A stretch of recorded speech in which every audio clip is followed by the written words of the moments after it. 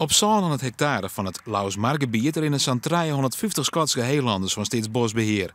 Dat aantal is precies genoeg voor dat gebied. Maar alle jaren komen er tussen de 100 en 200 kelen bij. Dat oerschot wordt slechte. Meestentijd wordt het vlees bij de lokale slechters verkocht.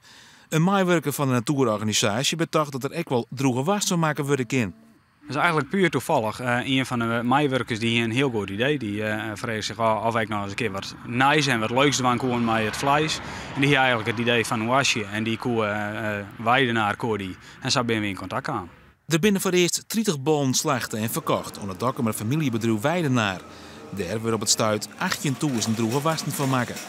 We zijn van ja, kun wij je me helpen om, om misschien uh, je naam echt naar boete te brengen, om te jaren uh, iets van yield te creëren voor Staatsbosbeheer. Maar dat is voor je echt wel commercieel. Tuurlijk, ik zal nooit ontkennen dat het net echt een goede komt van je namen. Maar dan nog moest altijd wel een goed gevoel hebben iets. Het is net zo van, oh het is commercieel, dus het is goed.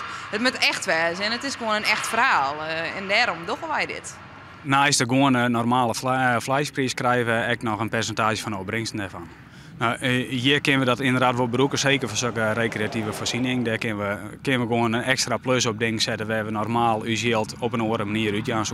We zijn sowieso van plan om het hier in het gebied wel weer erop naar in te steken en uh, bijvoorbeeld een, een uitkijkbeeld uh, op te knappen en daar echt iets moois van te maken. Een na zullen de wasten in 30 Albert Heijn supermerken in Noord-Nederland lezen.